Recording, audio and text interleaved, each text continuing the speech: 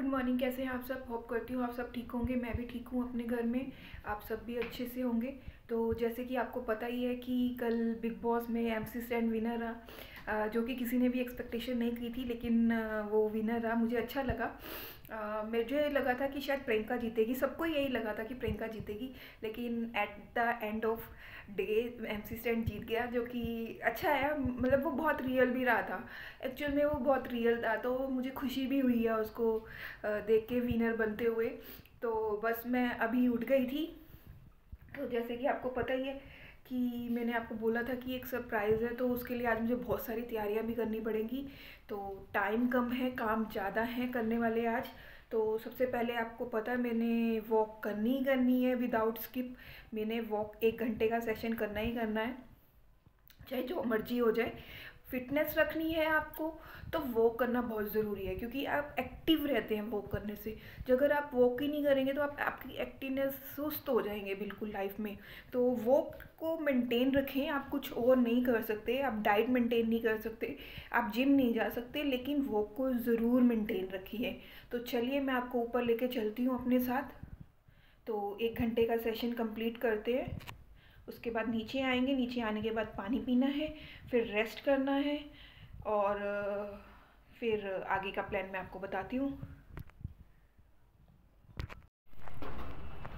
तो आज का वेदर भी मैं आपको दिखा देती हूँ कैसा है, कैसा नहीं है। तो मैं बस आ गई हूँ ऊपर। धूप भी है आज और हवा भी चल रही है। तो तो गाइज़ मैंने अपनी वॉक स्टार्ट कर दी है। तो आप सबको पता ही है मैंने एक घंटे के लिए वॉक करनी है। तो मैं अपनी वॉक कंप्लीट कर लेती हूँ, उसके बाद मिलती हूँ आपको। तो गाइज़ नीचे आ गई थी, मैंने शावर भी ले लिया और अपनी वॉक भी कंप्लीट कर ली है। बस अब मैं ब्रेकफास्ट करने के लिए जा रही हूँ। ब्रेकफास्ट करते ही मैं फिर मुझे जाना है मार्केट के लिए।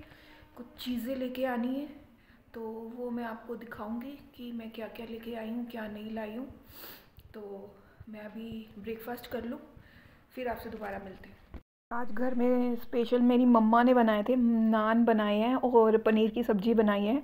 तो आप भी आइए, खाइए और बहुत टेस्टी बने हैं, बहुत यम्मी बने हैं। कि गाइस मैंने आपको बोला था कि मैं मार्केट जा रही हूँ तो मार्केट में क्या लेने के लिए गई थी? वो मैं यही केक लेने के लिए गई थी, क्योंकि कल वैलेंटाइन डे है। तो मैं एक दिन पहले ही केक लेने गई थी, क्योंकि हम लोग रात के बारह बजे काटने वाले हैं केक तो मुझे रेड कलर नहीं लेना था। मेरे को था कि रेड कलर के सब लेंगे। तो मेरे को थोड़ा सा अलग टेक्सचर में लेना था। तो मैंने एक अपनी पसंद का वाइट कलर का केक लिया है, जो कि मैं आप सबके साथ शेयर कर रही हूँ। तो मैं आप सबको कहना चाहूँगी happy Valentine day first of all good morning guys कैसे हैं आप सब? ये नेक्स्ट डे स्टार्ट हो गया है और टाइम हो गया है। बारह बजे बज गए हैं वापस से। तो हमने रात को केक काटा था। और मैंने अपनी मोम डैड के साथ अपना केक काटा था और हमने बहुत अच्छे से वैलेंटाइन डे बनाया। होप करती हूँ आपका भी वैलेंटाइन बहुत अच्छे जाए। जो लोग कहते हैं कि हम सिंगल हैं सिंगल होना नहीं होता कोई भी। हमारे लाइफ में कोई ना कोई ज़रूर होता है जिसे हम प्यार करते हैं। तो वैलेंटाइन डे सिर्फ़ इसका मतलब ये नहीं होता है कि हमारी लाइफ में कोई पार्टनर होना चाहिए। वैलेंटाइन डे मीन्स इज़ हम जिसको भी प्यार करते हैं, हम अपनी मम्मी को प्यार करते हैं, हम अपने पापा को प्यार करते हैं। प्यार का मतलब होता है कि मतलब कि आप किसके साथ खुश रहते हैं, है ना? जिसके साथ अपने एक्सपीरियंस शेयर करते हैं। तो वैलेंटाइन डे मीन्स इज़ आप कभी भी ये मत कहिए कि मैं सिंगल हूँ तो मैं वैलेंटाइन डे नहीं बनाना चाहूँगा। तो आप ज़रूर बनाइए, आज का दिन सेलिब्रेट करिए, सबके साथ सेलिब्रेट करिए। जो भी आपके पेरेंट्स हैं ब्रदर्स हैं फ्रेंड्स हैं फैमिली मेंबर्स हैं, उन सबके साथ अपना वैलेंटाइन डे स्पेशल करिए स्पेंड करिए। तो आज के लिए हमें प्यार भी मिलता है, बहुत सारी गिफ्ट्स भी मिलते हैं हमारे लव वन से।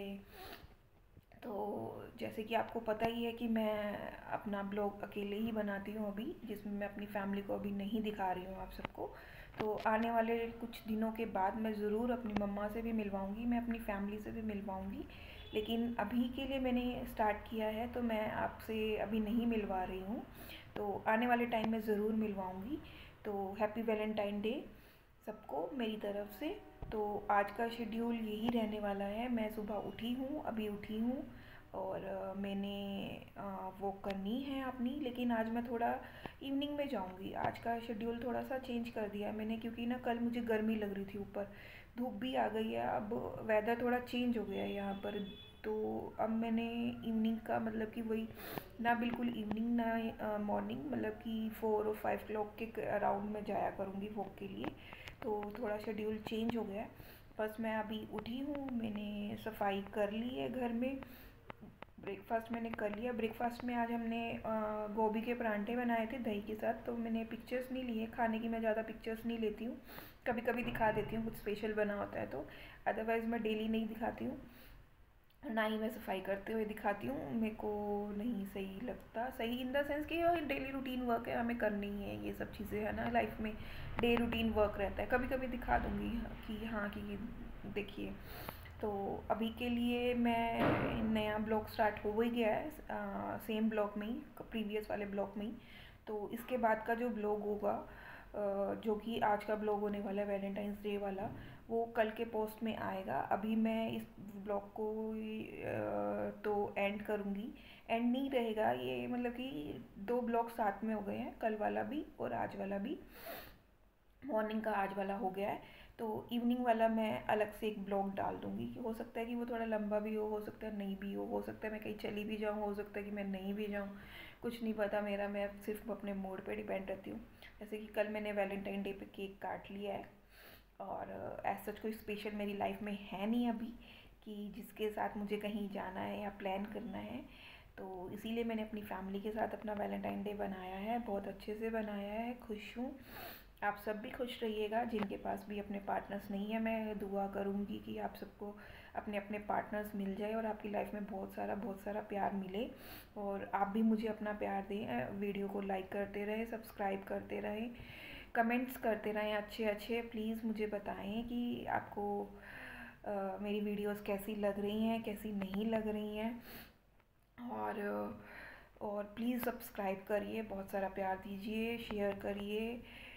चलो मैं आगे का प्लान मैं अब नए ब्लॉग्स में दिखा नए ब्लॉग में दिखाऊँगी। नेक्स्ट आज का जो भी रूटीन शेड्यूल रहेगा। तो अभी मैं इस ब्लॉग को यहीं एंड करती हूँ। मिलती हूँ आपसे थोड़ी देर में।